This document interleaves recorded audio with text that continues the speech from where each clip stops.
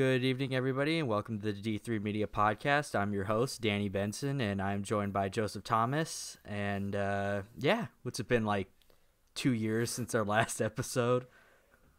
Basically, yeah. Yeah, you're one of my last Skype calls on Skype. That's how long it's been since I've used it.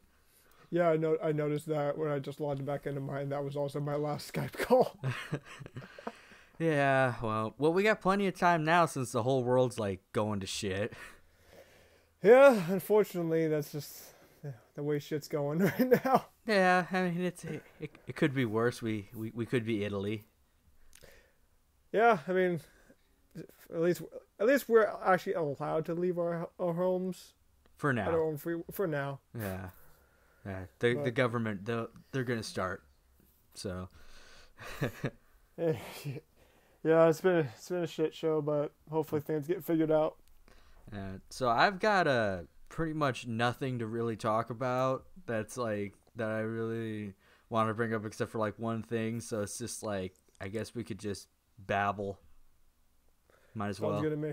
yeah, I mean we're bored, stuck. We're quarantined inside our house.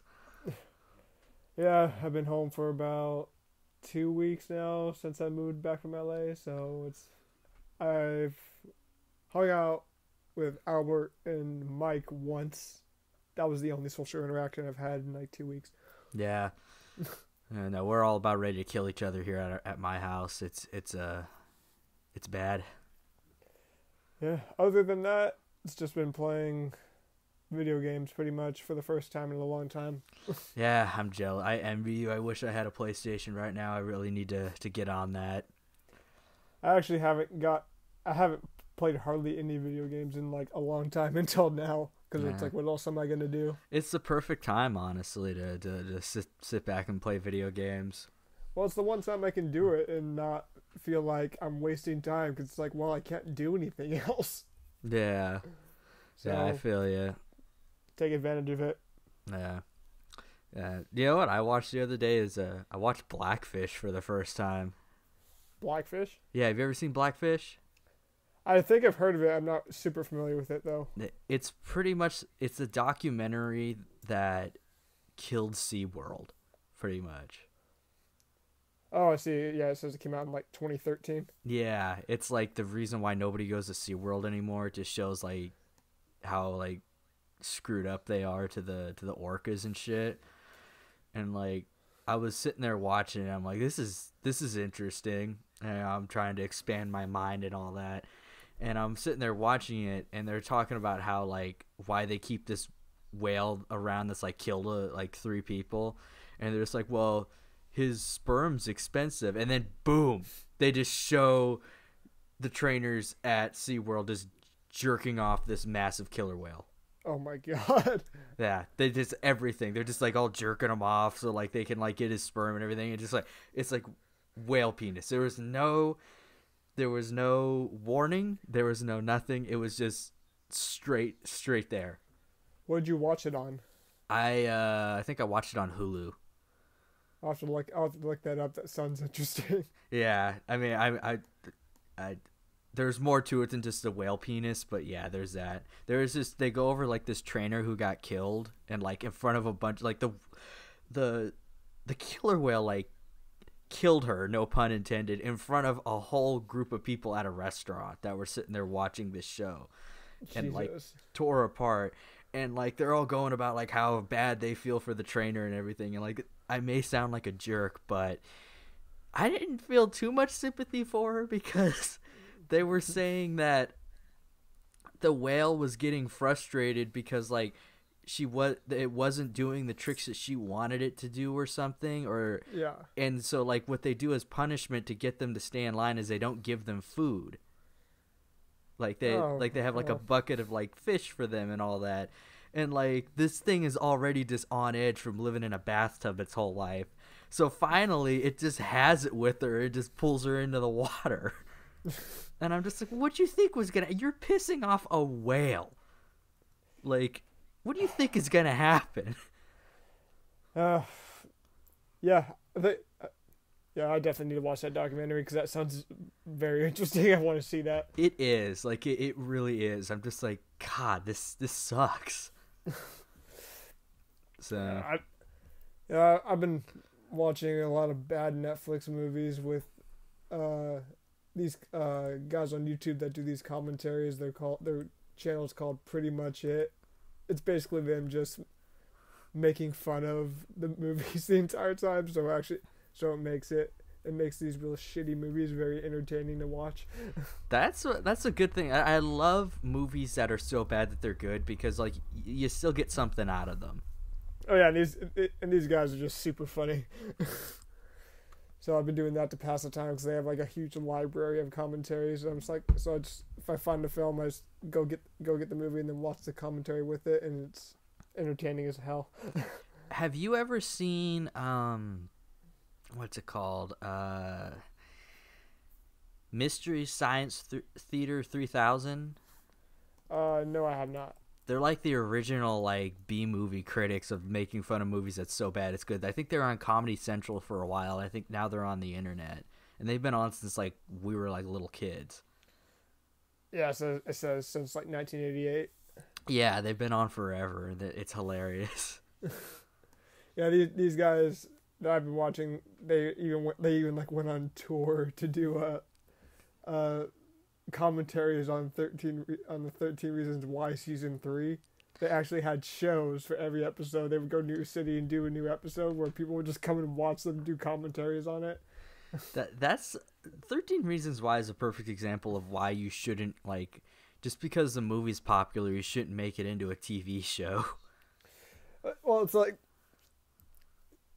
the thing about Thirteen Reasons Why that first season, uh, it was pretty. I, I give them credit. It was pretty good for what it for what it was. I got what because it seemed like they had a clear message of what they were trying to do there. Yeah. Then the second season happened, and I was just like, okay, it's this is it, it dealt with a court case of for Bryce, who was being accused of rape for for Hannah, who killed herself in the first season. See, that's just what every Netflix show is now.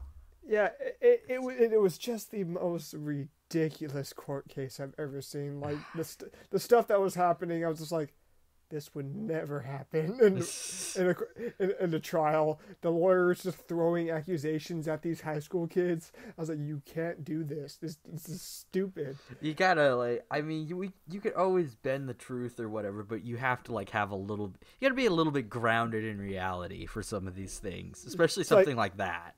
Yeah, no, this lawyer would just make up scenarios about you did this, didn't you? You did this, you did. Uh, you can't just do, you can't just say that. You can't just make stories up about you you did this though, right?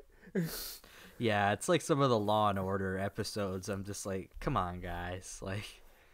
Yeah, I mean, there's the the only redeeming quality of the last because I have I've seen the entire show.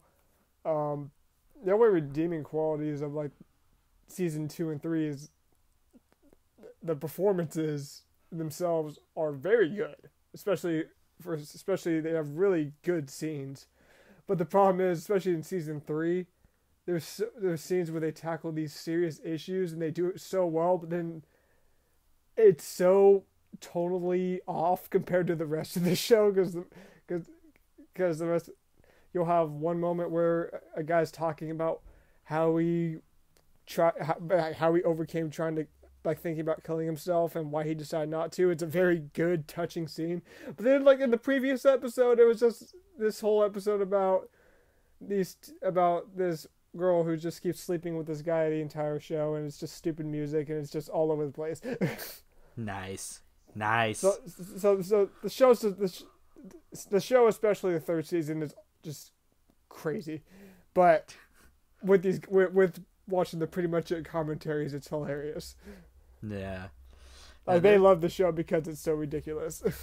Yeah, there was another Netflix show that uh, one of my old roommates was watching it. I'm trying to remember what it's called.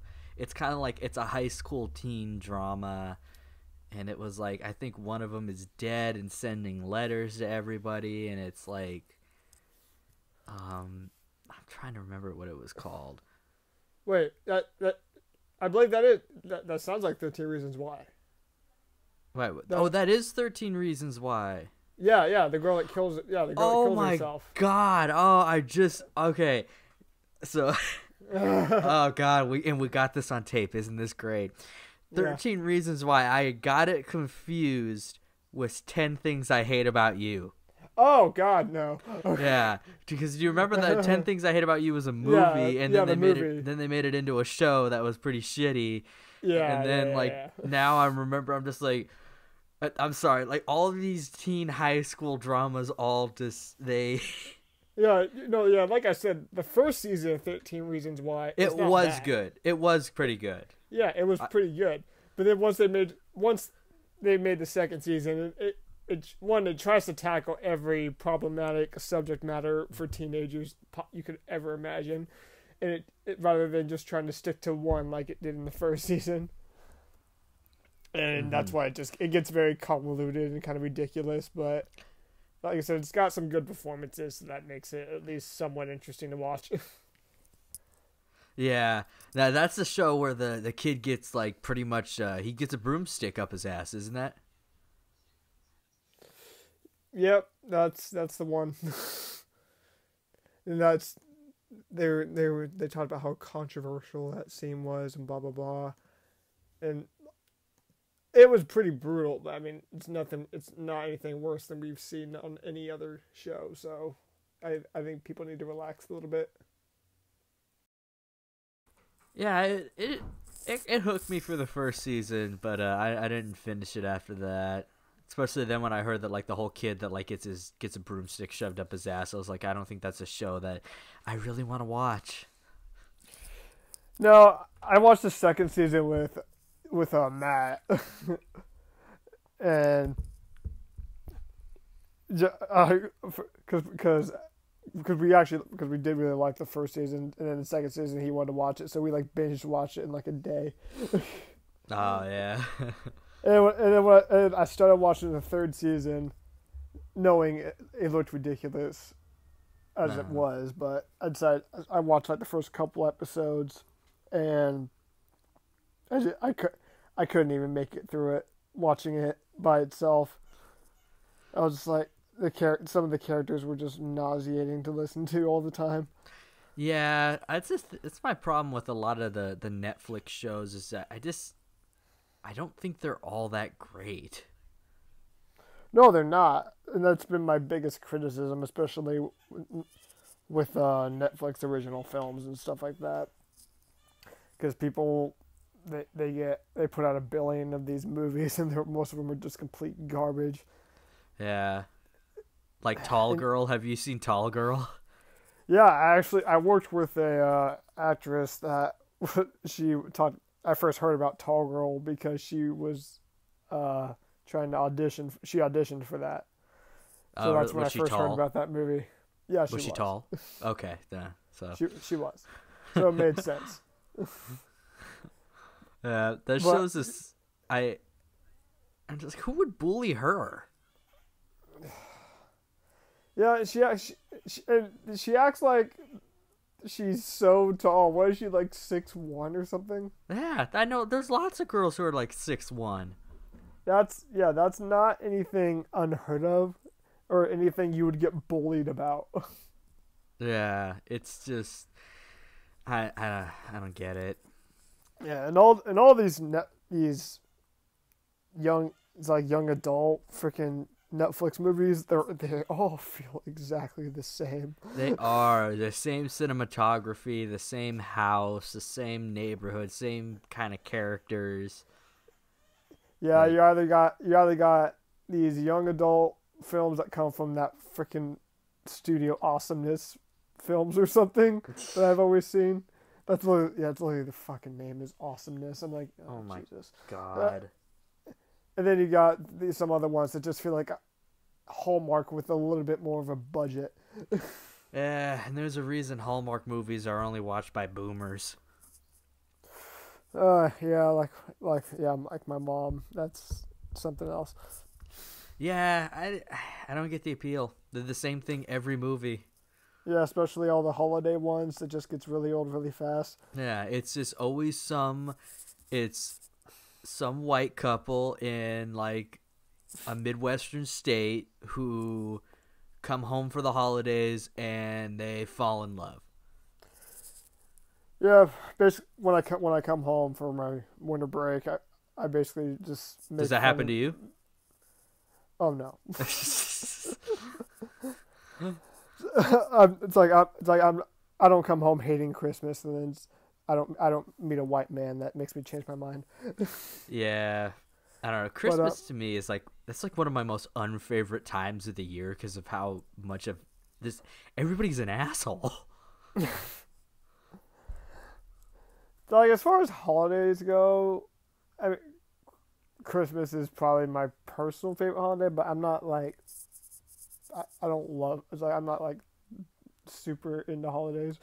Yeah, like I love Thanksgiving because I'm a fat slob, and I love uh, Halloween because I just love like that kind of. I'm a basic white chick. I like uh, I like the fall and I like um, pumpkins. Like the whole atmosphere of Halloween. I, I love it. But yeah, So I got was, I, I really liked my last Halloween and Thanksgiving for well, all my actually all my holidays from this past year were pretty good because me and my friends down in LA just had a party for Halloween, Thanksgiving, and Christmas, and we all just got super drunk. pretty much. I mean Um, that that's the way. That's the way to to really celebrate. That's what we did here. We had over here in San Francisco. We just had a Halloween party and then a friendsgiving and, and shit. Yeah, our, yeah, our our- Halloween. I don't remember a ton of it. Yeah. Uh, I, I yeah, it was it was pretty crazy. uh, I had to be the party host, so like I, I I remember too much. I'm like shit. But Yeah, my but yeah, my buddy has this uh, apartment complex, and they have like this clubhouse that we're able to like host. He's able to host parties in, so we've done that several times now, and it's it's always a lot of fun. Oh, that's awesome. Up, yeah, then we end up we usually end up going out by the pool and smoking because we're smoking because we're drunk at that point. I mean, why not? Uh, Uh, I so- can't. I don't. Like I said, I know what it is. It's just crave this. You start craving cigarettes when you're drunk. Yeah, I you really do. That's like my favorite time is to just be like to that point where you're crossfaded, to the point where you're just like you you can you can still function, but you're still Yeah, like exactly. high. Yeah, you're still high as fuck, so, but you like you have a good time. Yeah. So- So I haven't I haven't really been into smoking like weed much anymore, just because I don't know. I don't getting high doesn't always feel awesome to me. Yeah, it's it's a rare occasion for me too. I, don't- I don't really smoke that much. I usually smoke when I like I drink heavily, and that's pretty rare. It's like it's usually when we like go out bar hopping or something, but we don't go out bar hopping very much. yeah. It's like it's like if I smoke when I drink, it's usually just cigarettes. I don't, I don't even smoke weed because I, I I don't know. I like the feeling of being drunk more than being high. Get high, it's it, when I get high, it, I don't know. I used to enjoy it, but that's kind of I don't know. I've kind of grown out of it for some reason. I remember when we took that edible at when we went to go see the the movie. Oh, with with uh, Ed, uh what's his name? Al. Um, Eddie the Eagle. Eddie, yeah, Eddie the Eagle. Yeah, and then we went back to your sis. We went back to your house, and like your sister was like, "What's wrong with you guys?" We just like laughed at everything she said. Yeah, and yeah, and Albert didn't realize how high we were the entire time, so we're just laughing our ass off. Yeah. the entire movie for no reason. And then we just immediately went to Jack in the Box. yeah. Oh, good times when when we were able to leave our homes. Yeah. I I took that for granted. Oh, in case anybody's wondering, we're in California where weed is legal, so don't uh if anybody's listening from a, another state, we're we're not criminals here. I mean, it's like, did we do it before it was legal? Probably, yeah. Yeah. So I did, mean- so did so did everybody else. So. Yeah, everybody did. I mean, nobody did not. So, anybody who didn't, who says that they didn't, is liars. Have you uh, have you seen the show Westworld? I haven't. I I know that that's that's a based off of a Michael Crichton book, isn't it? Yeah, I believe so. It was, Yeah, the guy yeah, I wrote know, I know it was Jurassic based on. Yeah, I know it was based on a book, and then it was, uh, a movie in like the late seventies, I believe. Yeah. So is it good? The show? Uh, the first season is very good in my opinion. Um, I I when I started the show, I did hear that the second season is what kind of lost some people. Um, Mhm. I agree because it it goes in a it goes in a whole different kind of direction. Do you know like the concept of the show at all? Yeah, it's it's it's pretty much Jurassic Park with like robot humans, isn't it? Essentially, yeah. Yeah, I remember that's what like the movie. I, I saw the some of the movie when I was real little, and like, yeah, it was just it's like a theme park that just goes awry. Yeah, and like, uh, but like the whole point of the show is like, yeah, the, the hosts are the robot humans. They basically, they, they basically start to become more human, uh, and they eventually try to take. They eventually try to, like, get like take over the park because they're starting to have like memories of of stuff that the humans have done to them and all that. Then in the second season, it just turns it just turns all the hosts into these freaking Terminators that would just go that all they want to do is kill all the humans. I'm just like, well, now all these characters that they had in the first season are all of a sudden very one note and uninteresting. Especially one of the main characters, her name is Dolores. She was like the she was like kind of like this farm girl kind of character, like very a very layered character, very interesting character in the first season, and now they've they basically pro- reprogrammed her as her uh, personality so now she's yeah, all she wants to do is kill everybody now. I'm just like, well, now this show's boring as hell. Isn't that? I, I that's the problem. I think some shows like really they stumble after a very good first season. It takes a really good writer to keep it going. Oh yeah, yeah. For the first episode of the show is one of the, is it's honestly one of the best pilots I've ever seen. Mhm. Like it's it it was such a intriguing setup to the entire show, and the rest of the and, and the rest of the season was really good as well. But yeah, the second season I've kind of lost interest. yeah. The All the the, yeah, go ahead. uh, the guy who's playing uh he was in James Bond. He's playing Commissioner Gordon in the new uh Batman movies in it. What's his name? The the black guy with the Oh, Jeffrey Wright. kind of Jeffrey Wright. Yeah, he's a really good actor. Oh yeah, yeah, he's re- he's really good in, in Westworld, and yeah, I've yeah I've liked him ever since I saw it. it's ever since he was in Casino Royale back in the day, and I've watched some other stuff that he's been in. Yeah. Uh, but he's always very good. How do you feel about him as uh, Commissioner Gordon? It's a, it's an interesting choice. Uh, I don't doubt that Jeffrey Wright will do a good job, so I'm not skeptical about it. Yeah. it's just it's just depend i guess it's it's really up to just whatever you are looking for out of the character i guess but in terms of whether he can play the part i don't doubt that he can Yeah, like there's a like somebody did a Photoshop picture where like they they put a wig on him and just gave him a mustache with like the glasses and like he he looks like Commissioner Gordon. I'm just like I'm I'm down for this. Um, yeah And- go ahead. I, I, I, was, I was saying yeah like and he plays kind of almost a similar character like that in westworld like like where he's got the gla- he's got the whole glasses thing going so like i could buy it easily Mm-hmm. Yeah, no, I'm really uh, I'm I'm looking forward to see what he's gonna do with the role. There is uh, there's another podcast I listened to, and they were talking about it, and uh, they were saying how uh, because in the comics, Gordon like uh, he has a really hard time in the police department because like Gotham's just so corrupt, and uh, he has a really hard time like rising through the ranks or like you know just being on the force and uh uh somebody suggested that like since uh Jeffrey Wright is like is, is black that like it would be a maybe a cool component to make it like uh that Gotham City PD's like almost like LAPD in the 90s just like hella bad. Yeah. And just like really corrupt like police brutality and everything like really racist and all that and like maybe see that like how that would affect Jeffrey Wright as Gordon when he gets transferred into the to the GCPD yeah that'd be a really interesting yeah if they do it right to go if they do it right that'd be that could be a really good story Oh yeah, for sure. Yeah. Hope it's like I was hoping to get to see Jeffrey Wright in No Time to Die in two weeks, but obviously that's not happening. Oh yeah, every all the movies are. Do you think movie theaters are gonna make it through this? Ah, uh, there's there's a topic for discussion. Yeah. Um,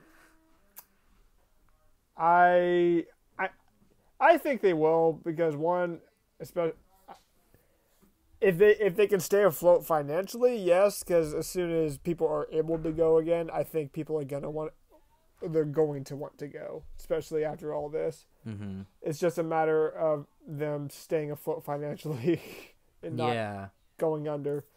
But in terms of in terms of because I know uh, there's the whole topic of how they're putting all these films that are in theaters on streaming services, and now people are st- saying that that that might be the fu- that might be the future, and that might just be how we should start releasing all movies. And I'm not quite ready to hop on that train yet. I don't. Th- I don't. I don't think. I don't think that's going to be the case. But again, it's all a matter of keep them staying in business. And I think as long as they're able to do that, yes, I think people. I think movie theaters will be fine with with audiences still wanting to go. Yeah, I uh like it's it's just that they like they really got to re rework their business model cuz like I think they only make like 5% off of ticket sales and the rest goes to like uh the rest of the revenue goes to like the movie studios so like the only thing that they make money on is, is concessions and you know people i'm not going to name names people sneak their own food into the movie theaters because like it's so ex- the concessions are so expensive Yeah, I, I, I, they're lucky. So many people. So many people are, are still. So many people are still willing to pay pay for, for all the food, even at those prices. But I've never been one of them. yeah it's just like you know um they can't survive off of this model that's only just like um that's all that's just it just doesn't seem viable especially since our generation feels like they're moving more and more towards streaming like and and you have like what was it like 15 bucks a ticket now at some places? Yeah, and the whole subscription based service that like AMC has done, I think, is the right way to go. I'm just one. yeah I just think more theaters need to possibly look into doing that as well because I think that is getting a lot of people. That is getting a lot of people to go back to the theaters, not having to pay for twenty dollars per movie. yeah. And you know, I honestly think that all the big movie theater companies like AMC, Regal, and uh, whatever other ones there are should just, I mean, excuse me, if they just kind of took a stand and like told the um and told the movie studios, it's just like, hey, you know, we're gonna we're not gonna show your movie unless you unless you uh you know we rework this this deal with the tickets or whatever then you know i'm sure that like because disney takes a ridiculous amount from the box office at movie Yeah. theaters but then again look at look how big these studios are compared to like just you know amc But yeah, and whenever this topic comes up for discussion, the studios are always the first to say how they want theater chains to survive, and they don't. They're not for streaming services, especially. You've heard many directors speak out on this, especially people like Spielberg. yeah scorsese Yeah, Spielberg. Spielberg was one of the first to say that net, like Netflix movies should not be put in the theaters. okay I that think, well, that's definitely true. okay i agree with that but there's the the academy should still recognize the work that goes into netflix movies Oh, oh, I, I agree with that, especially when you Yeah. get the marriage stories and the Irishman. Even though I don't love the Irishman, uh, i I still gotta see that it it's not it's not bad or anything. It's Scor I don't know. Scorsese is hit or miss for me. Like what once once you kind of get his his whole shtick of what he does, you you either love it or you don't. And I'm I'm kind I'm just kind of meh on Mhm. on hi- on his films, but and The Irishman just wasn't one of the ones that really interests me. it got a lot of attention because of the whole de aging and all that. But Yeah. it, it was a, it was fine, and it, it, it, was very long though. And it, it, for for me, I pers- I it, I felt how long it was. Where I, not everybody felt that way though. Yeah. No, I love Scorsese movies. Like he's he's one of the he's one of my favorites. Like Goodfellas and The Departed. Oh, yeah. The Departed is really good too. Like Goodfellas to me is like it for me. I still got to see Taxi Driver and Raging Bull though. I haven't seen those two.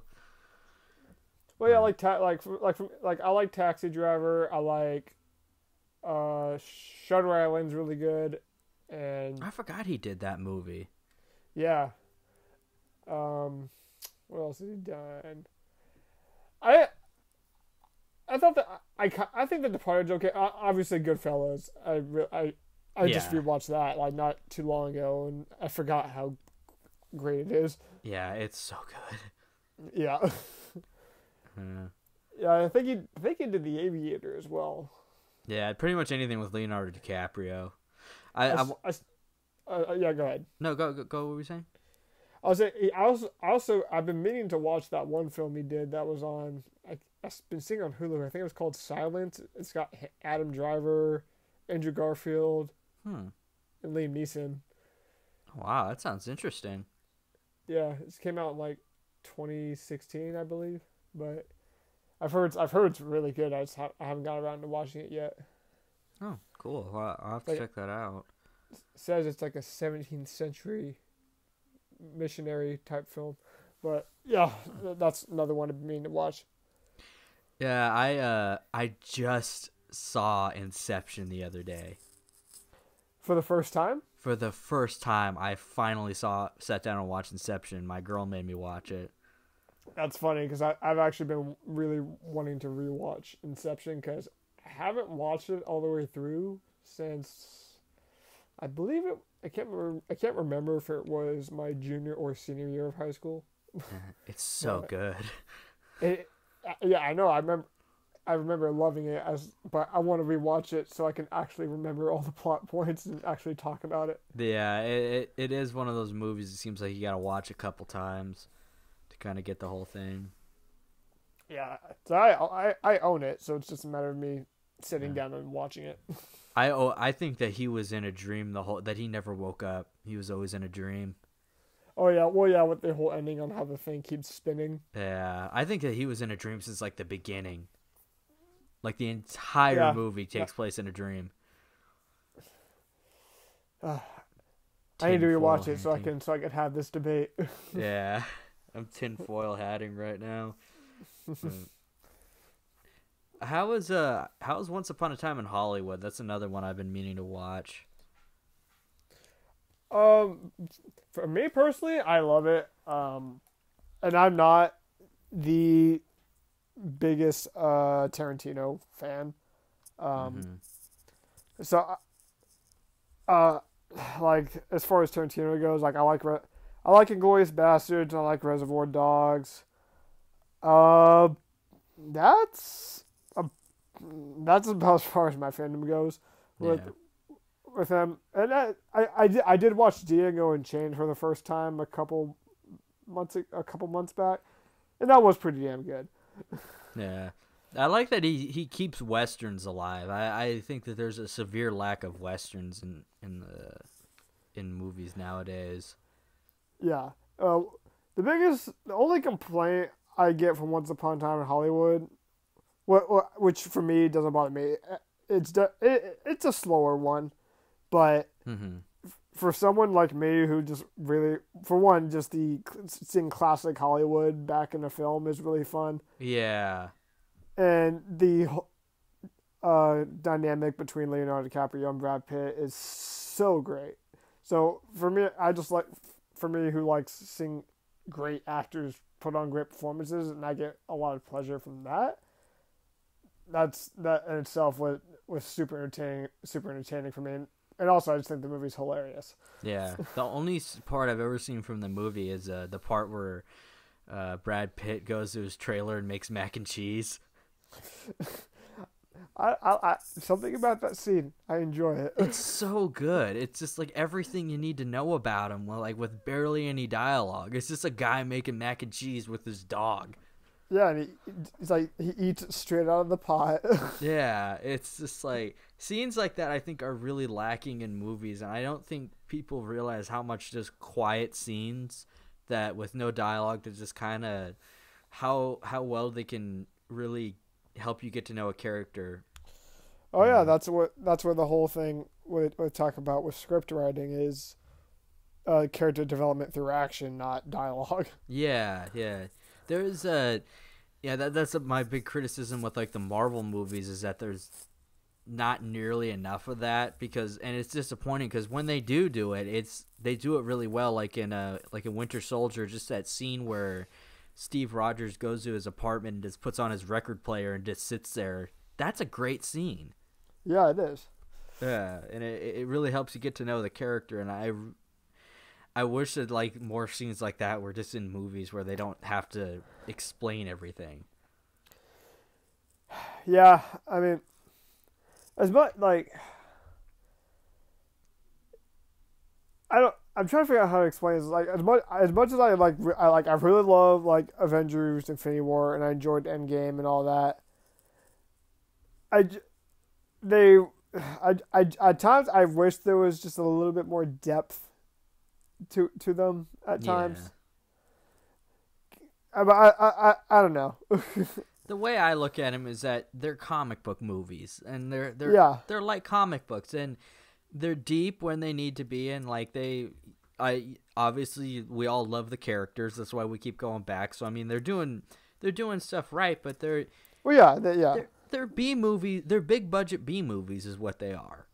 Essentially, yeah. Yeah, and um, you know, I think we should applaud them when they go beyond that, and you know, when they go, when they go to C movie level, which they've done a, a few times, we should, you know, obviously call them out on that. But you know, I, I think people, some people go in with too high expectations. And then, and, and I was very, I, I, was really impressed by Endgame. I, I personally re- like, I still watch it and I still really enjoy it. Yeah. Um, I know the po- the popular consensus it kind of it, it's kind of suffered from what the Force Awakens with Star Wars suffered with, where people walked out raving about it, and then as time went on, it became the popular thing to dislike Endgame. yeah, I don't get like I don't get the Endgame. Like I I liked Infinity War better. That's just because I think Infinity War is the only comic book movie ever made that ever felt like I was watching a comic book. Yeah, I, I would say Infinity War is overall stronger for me. And Endgame Endgame delivers on Endgame is a pretty good movie it, that has very satisfying moments. Mm-hmm. So, but overall, I would say I like Infinity War a little bit better, but Endgame is still very good for me. Yeah. You know, it's uh yeah, we there obviously there are like uh there are certain characters that you could always go a little bit deeper with. I think like you know, I think they could have done this with the Hulk and uh, Edward Norton. I think he came out and with in a recent interview and he was saying how his plan was to do a Dark Knight style Hulk sequel. Yeah and Marvel didn't or Disney really didn't want to do that or whatever, so they just never made another Hulk movie. And even with Mark Ruffalo, I think that they still could have done a, a really good movie like that that goes into the whole psyche of the Hulk. DC's still struggling right now. Oh yeah, so, yeah. they're really ho- it's like they're really hoping this new Batman will work out for them. Yeah, I haven't seen Birds of Prey yet. Um, I'm, I'm still got to do my Suicide Squad review. I have the draft written up. I just got to finish it and, and film it. But uh, um, yeah, Birds of Prey. Like I I've heard mixed things about it, and everybody's making it political and everything. I'm just like, is it a good movie or not?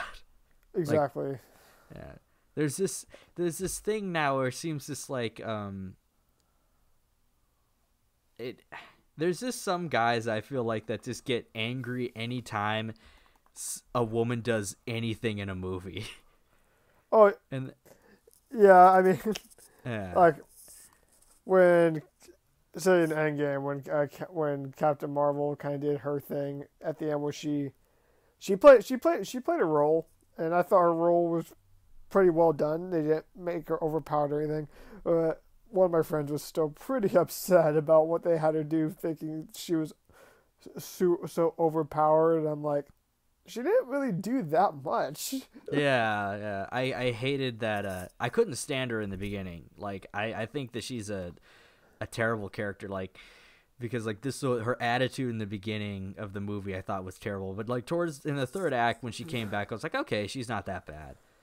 No, when she's at, yeah when she's actually like fighting and everything, like she seems fine. But I don't know the the whole narcissistic attitude that Brie Larson goes off. One, it just for Brie Larson, it rubs me the wrong way with her. oh, I know. It's same for me. It's like I think that's just a common thing in movies nowadays. It's just like, do you guys not know how to write strong women characters without making them assholes? Like, yeah, just just, just like with like with her, she's like she's always like got that straight face. and like, well, I'm gonna go do your guys' job because I can do it better than you. Blah blah blah. I'm just. Yeah, it's like screw you. I'm like, can she be? She, the problem is they don't make her likable at any point. no, they don't. Like that's I, I really uh, you know, to me the gold standard will always be like Princess Leia, Sarah Connor, and Ripley. Yeah. Like that, that that's it. And I'm just like, not once did they ever have to mention that, you know, they're a woman or like, you know, that that's or that you know they didn't they didn't treat anybody else like they didn't treat men like shit just to just to prove a point. point and i think that's just yeah. writers nowadays yeah and as far as i know i mean like black widow they, they never treated her that way they never really put female empowerment much with her she just, was just kind of who she was and it works yeah that's why i love black widow and scarlet witch yeah. like i think they're two great characters and and the yeah God, I always forget her character's name. The one in Black Panther, his guard or whatever, the bald mm-hmm. lady. Mm-hmm. Yeah, yeah, she was always really cool too. But yeah, it's just. did you see with the the Charlie Angels movie? They uh, the the oh, director. Oh what's who's who's the director again? Um. Oh, Elizabeth. Elizabeth. Uh, let me see. What was her last name? I want to say Elizabeth Banks.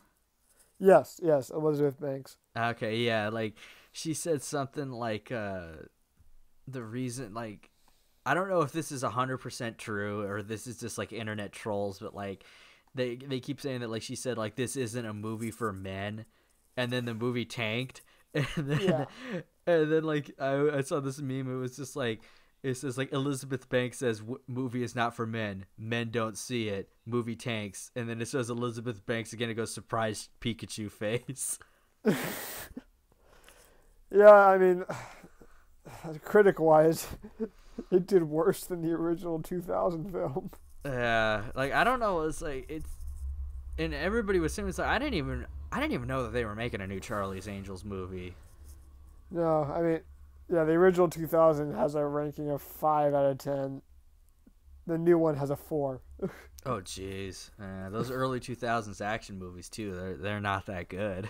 No. Uh, yeah, yeah, yeah, here's Charlie Angels, Charlie's Angels director blames men for box office failure.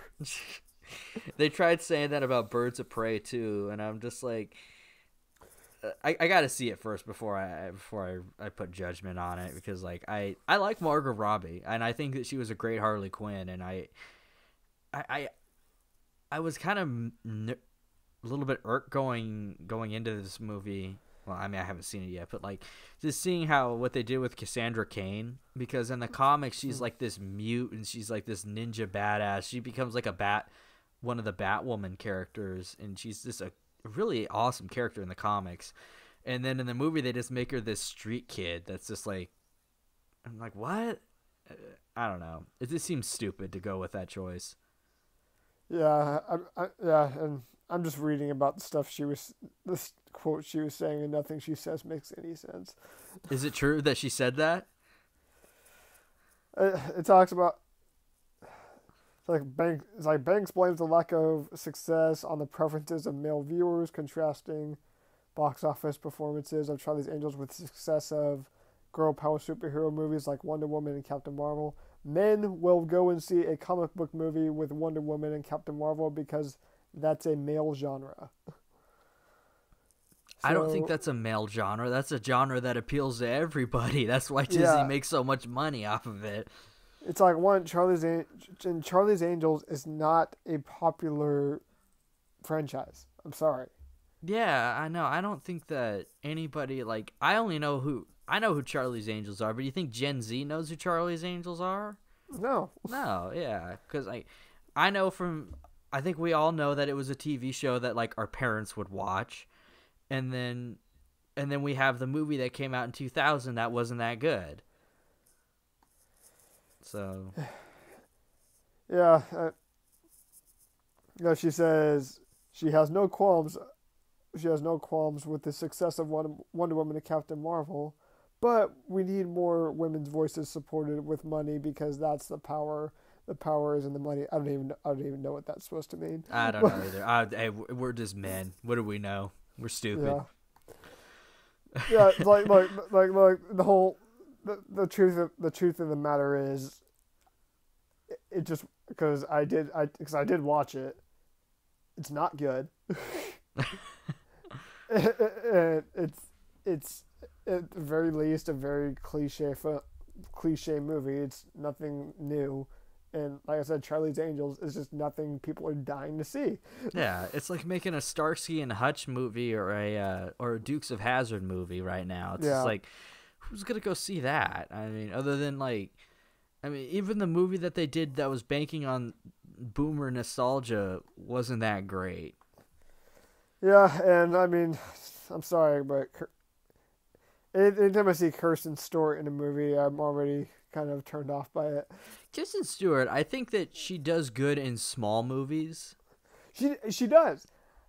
It's wh- whenever I see her in the big blockbusters, that's what that's when I get worried. Like she was she, she was in that she was in that one the that one film. The one where she was like a maid or something yeah, in Victorian area. Yeah. Yeah.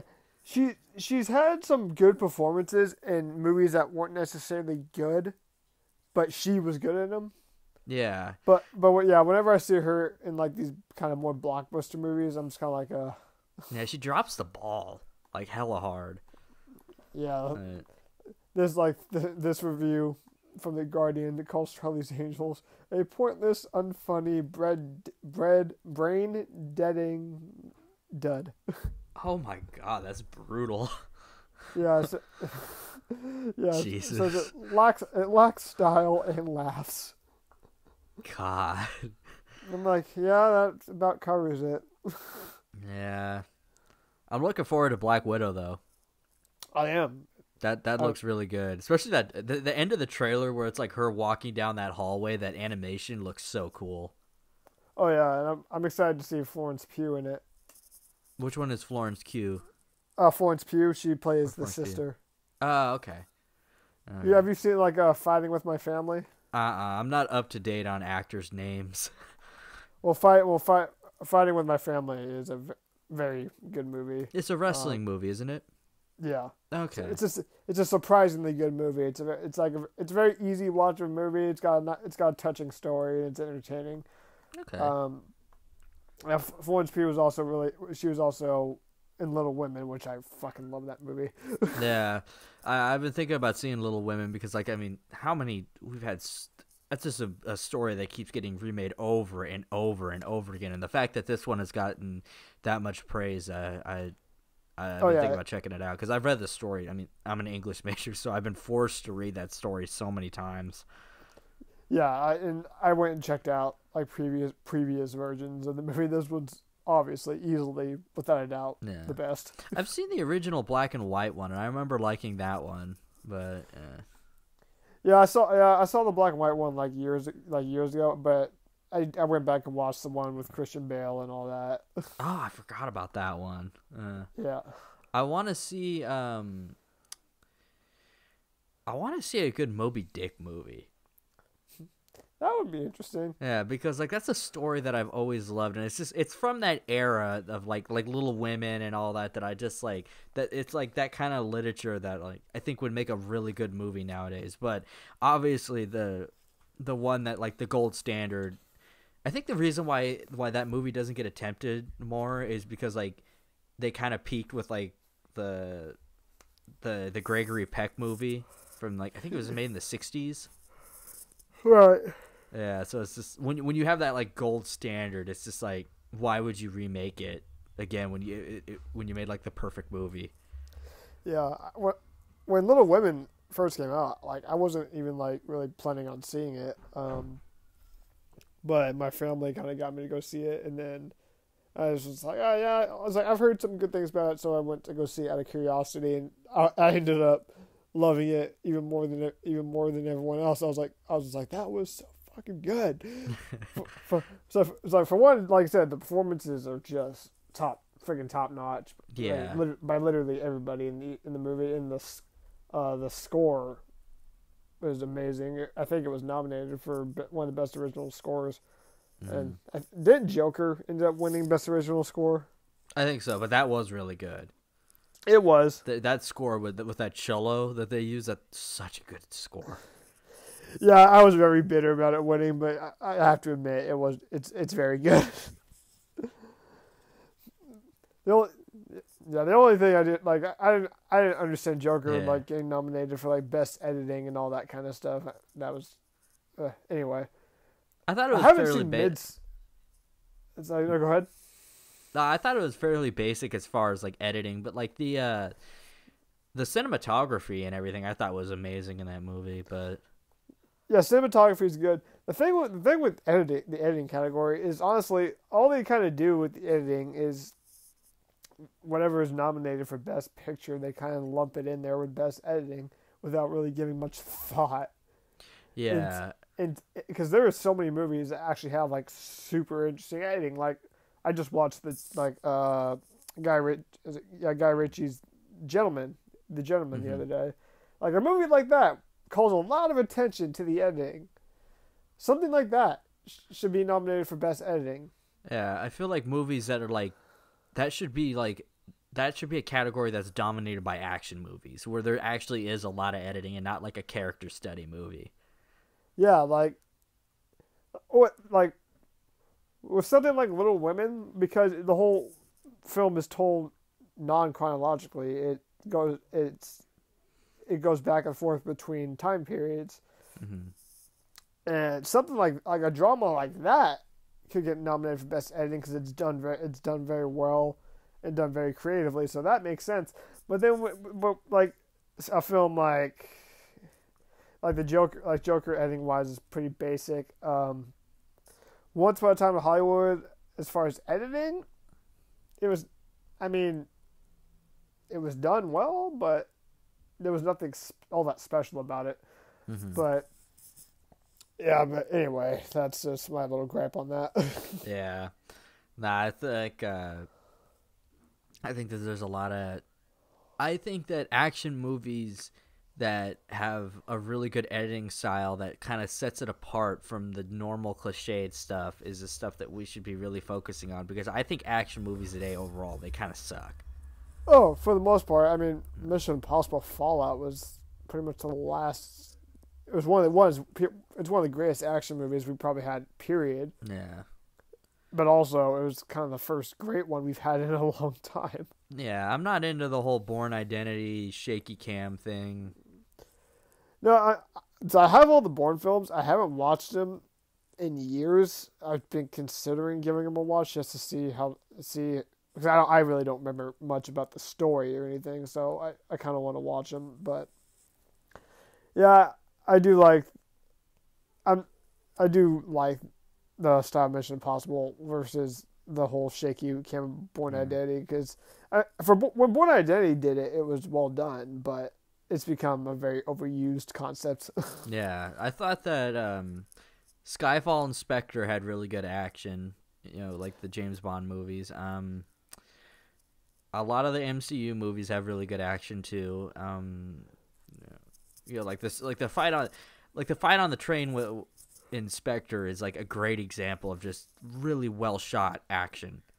Oh yeah, it's it's got yeah, it's got no score. It's it's all about brute force and brutality, which is the kind of that's that's what I like. Yeah. I'm so happy the Russo brothers dropped that, that shaky cam style for Infinity War because they had that in uh in in Winter Soldier and Civil War and I was so happy that they dropped that for the the two Avengers movies. Yeah, and I, the style, like the style for No Time to Die that Cary Fukunaga has developed, it looks the the film wise, it looks so different. Mhm. Which is what I like. Which was that's what I like about a lot of the Bond films is very rarely do they ever look the same. Yeah.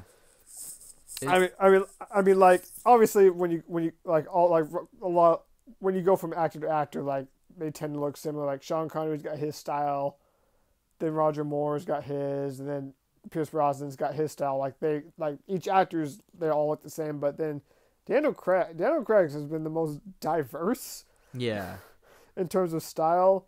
Uh, yeah, like like Casino Royale, they got Casino Royale, then Quantum of Solace. The whole they Quantum Solace kind of took on the whole Bourne Identity editing style, which for me it was it it. It was different and a nice change of pace, so I liked it for what it was. But then, but then you got Skyfall, you get Roger Deakins doing cinematography, so it's got a completely different look from anything we've ever seen.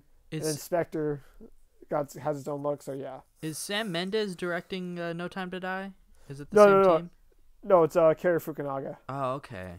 Uh, he um, he's most known for doing the first season of True Detective.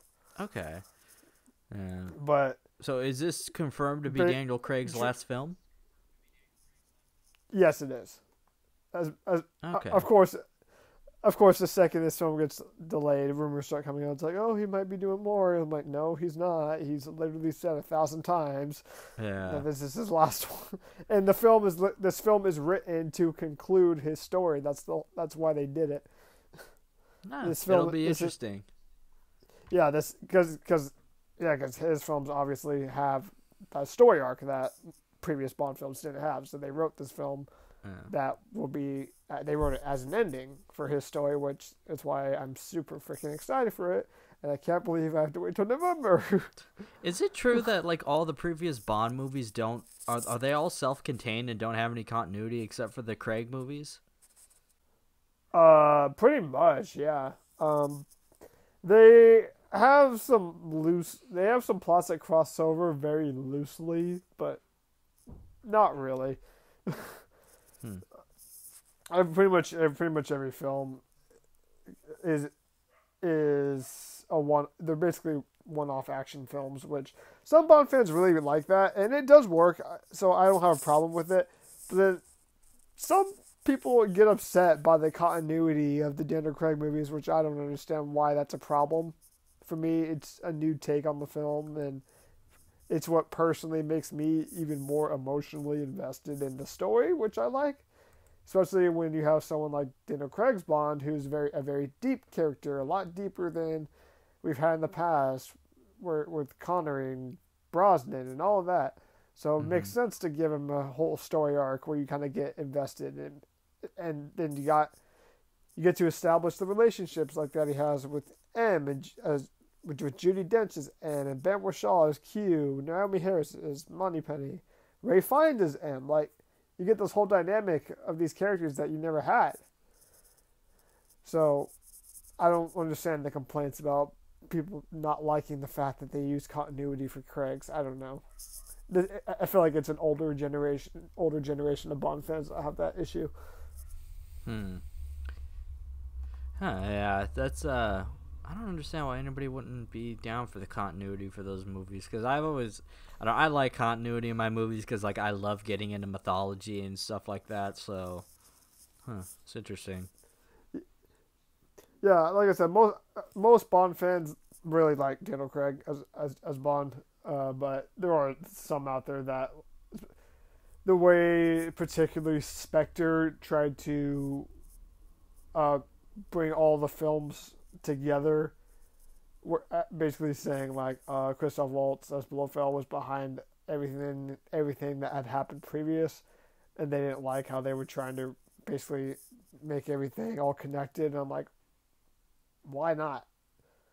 Whether it was executed the best or not is one thing, but the idea within itself I like. That Spectre is behind all of this, and that's kind of the whole point to the story. That's kind of the whole point of the story is every everything that's been leading up. It's been leading up to the big organization kind of thing. So that's just me. Yeah, I I like that that the whole thing that the, the revelation that uh that Spectre was like pulling the strings the whole time. It's kind of like a when you find out that Shield was like infiltrated by Hydra. It's like I love those kind of twists. I mean that that's classic spy spy movie right there, and I think it worked really well. Well, yeah, that's very classic of Spectre when you because that's essentially like what they were. They are that organization that kind of sits in the shadows, like in films like Thunderball from 1965. That was a concept that's been well established. They kind of just sit in the shadows, and Blofeld makes call, makes the calls, sends people out to do things. That's just kind of how they work. So it makes sense that that's how it would play out in these new movies. It felt mm-hmm. it felt mm-hmm. very classic Bond to me. So for me, it works. I expect Spectre has its issues, but as a film, I still can enjoy it for what it is. But uh, mostly the issues with that film come in the third act. But I like that they're continuing the story from Spectre with No Time to Die, and, and if No Time to Die is as good as I think it's going to be, it could even make me enjoy Spectre even more because it'll feel like it'll feel like the beginning of a bigger story kind of thing. So yeah, hopefully that'll end up being the case. Ah, I hope so. I hope so too. There's lots of movies that have that have been pushed back that I'm I'm hoping to see. Like I am interested to see where the uh, where uh, the James Bond series goes, especially since I I mean I already reviewed all the the James Bond movies on my channel, so. Mm-hmm. Well, the the one film that's kind of held its ground as far as release dates has been Tenet. Tenet, isn't that uh is that the Christopher Nolan one? Yeah, that's yeah. his. They they're the only ones that are kind of holding their ground as far as I think keeping its their June release date, something like that. Yeah, it looks so confusing. It does, but what what Nolan film doesn't. But it looks fast. I'm fascinated by the concept. Yeah, I'm interested to see what it's gonna be. So. Yeah. All right. Well, I think we just hit we just hit an hour, and since uh we're having so many technical difficulties, uh, you want to wrap it up right now? Uh, yeah. I, I gotta get my I gotta go get it running and stuff like that, so we can go ahead and wrap it up. All right, we'll try this again maybe next week, and uh, hopefully we'll figure out a a better way to do this so that way it doesn't get interrupted so much. Um, for the yeah, I can even try to do side, this. But anyways, uh, yeah, yeah. I always used to be jealous of your Wi-Fi at your house because it was so fast. it's, it's it's fast in some parts of the house. It's it's it's it's picky. yeah.